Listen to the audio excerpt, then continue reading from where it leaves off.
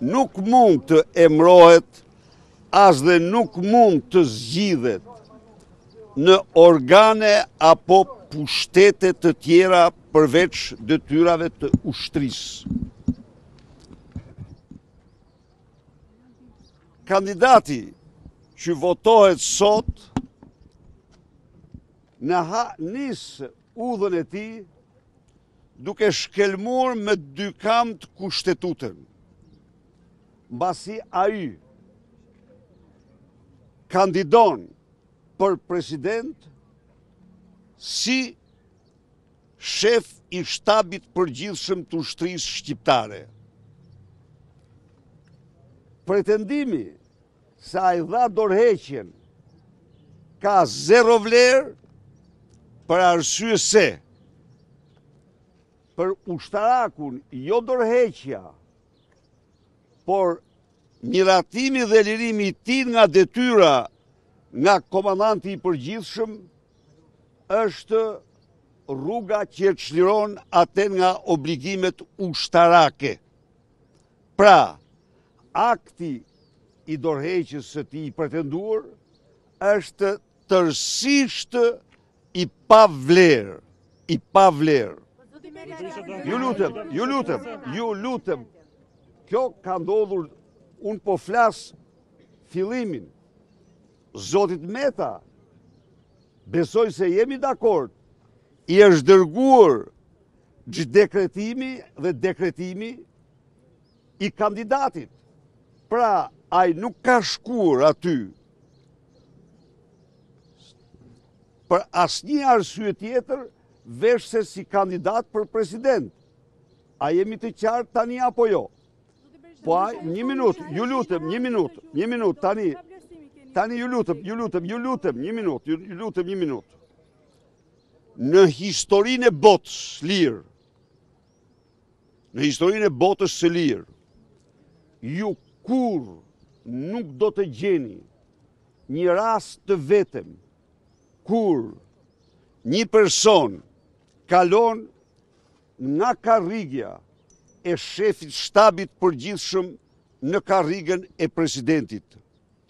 Kjo Mund të ndodhë vetëm në junta, vetëm në puçe, në grushte shteti. Ju lutem një minutë. Kjo procedurë është një procedurë shumë e rrezikshme për vendin, sepse kjo i hap shtegut.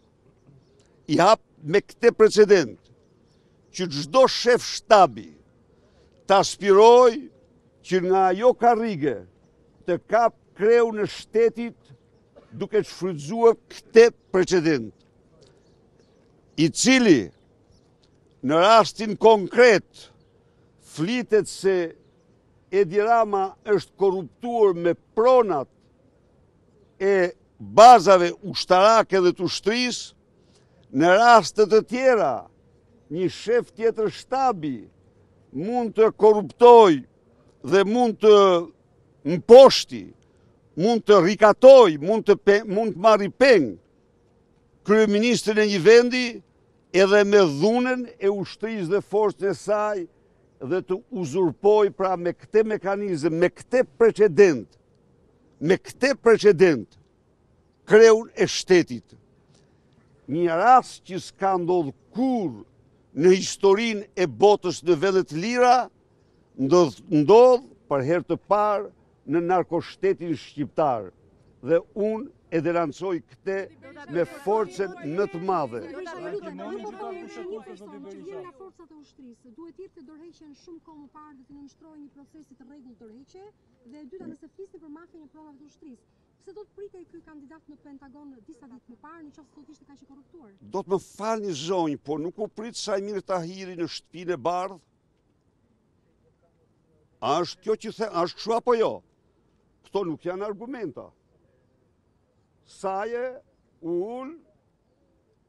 Ballë për ballë. Po sa është ministri? Sa sa e ul të lutem njëlloj ajo s'ka ajo punë. Njëlloj ajo zyrtar zyrtar, ai ishte zyrtar shqiptar më i rëndësishëm se ky biles, më thonë. Ul Ajo s'përbën asnjë lloj pashaporte, asnjë lloj dëshmie. Po fakti është, fakti është, se fakti është, se burime plotësisht të besueshme të mediave dhe politikanëve kanë denoncuar se zotëria ka firmën mbi dokumentat e plaçkitjes së bazave në Gjirin e Palit dhe në në Sarandë. Pra, këto Por, por, problemi antikusht, donë, kushtetuta është njëra anë, kurse këto janë probleme tjera. Skapi i partisë tha se unë nuk kam ndonjë hetim për zotin Begaj, sepse keni marrë vesh ju ç'ndodh me skapin tani, skapi nuk guxon të nisë hetime për nivelet më të larta, po hap Çështje. Nuk guxon me me regjistru aty hetime për shembull për ministrin Ahmetaj apo hetim ta zëmë për Erion Velinë, nuk nuk e pamundur kjo. Prit, prit një minutë, sqaroj. Prit të sqaroj një këtu, prit të sqaroj një këtu. Pra nuk mundet që të hapë edhe çfarë bën hap çështje për këtë punë. Dhe shkon peshkon merr ca peshq të vegjël dhe thotë e zgjidha problemin. Pra, megjithatë, unë duhet pranoj këtu, se me akuzat për pronat e ushtrisë, unë jam njohur të them të vërtetën për pronat si afera, jam njohur përpara, po për raste konkrete, jam njohur dje dhe sot, dhe nuk kam një... Urdhoni. Një minutë, ju lutem, ju lutem, ju lutem.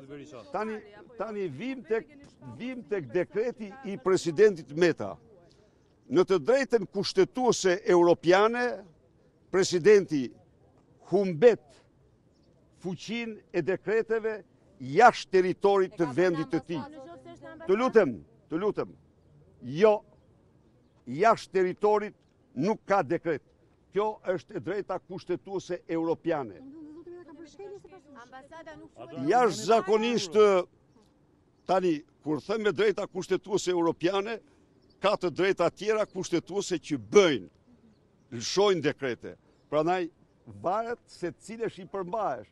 Po iu përmbajte të drejtës kushtetuese europiane, nuk lëshon dekret jashtë vendit, mbasi, kur je jashtë vendit, kryetar shteti është kryetar i parlamentit. Kryetar shteti është kryetar i parlamentit. Vende tjera nuk e kanë këtë të drejtë, po të shkoni në Amerikë Latine, atje pastaj gjen një turli tjetër, po unë po flas për Europën. Do t'i bejshë atë po. bojkotoni tani votimin dhe përse po, po Sigurisht që bojkot... Se ju thatë që do të votonit kundër, do të qëndroni... Sigurisht që ne, jo, ndryshoi hesapi, keni shumë të drejtë, por ne nuk imagjinonim që mund të kishte një shkelje të tillë flagrante kushtetuese. Pra jemi në kushtet e shkeljes flagrante të kushtetutës së vendit. Po, dhe prandaj dhe ne u ngritëm, kërkuam që këtë deklaratë ta bëjmë në parlament, por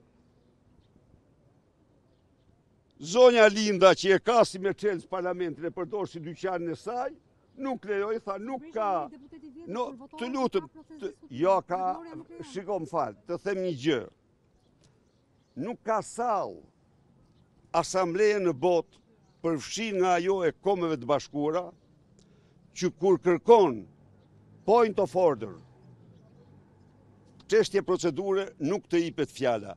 Kjo ndodh vetëm në parlamentin shqiptar të cilën zonja Lindita e përdor si dyqanin e vet.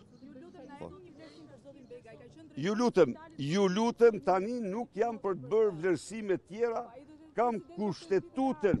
Të lutem, unë e kuptoj, por tani kam kushtetutën përpara Po shkelmohet kushtetuta në mënyrën më flagrante. Urdhëroni? Me këtë kontroll absolut që ka ekzekutivi mbi drejtësinë, ç'po ndodh me gjykatën kushtetuese? E keni konstatuar, jo apo jo? E mban çështjen dhe kujtohet në fund se nuk legjitimohet. Ka dalë dhe një një mënyrë e re, një modus vivendi i ri. Pasi i man disa muaj çështje aty, thotë në fund se nuk legjitimohet kjo çështje.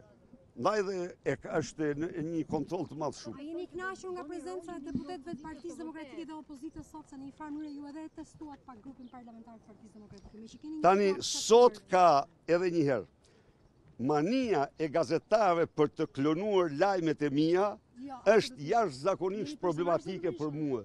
Prandaj më lini atë mos më prishni, mos më prishni lajmin. Ju lutem, mirupafshim.